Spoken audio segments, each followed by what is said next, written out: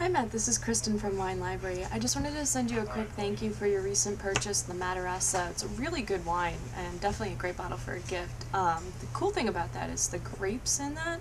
Uh, it's predominantly Mando, which is a grape that almost went extinct, and this place has actually been reviving it. Um, so really interesting story behind it.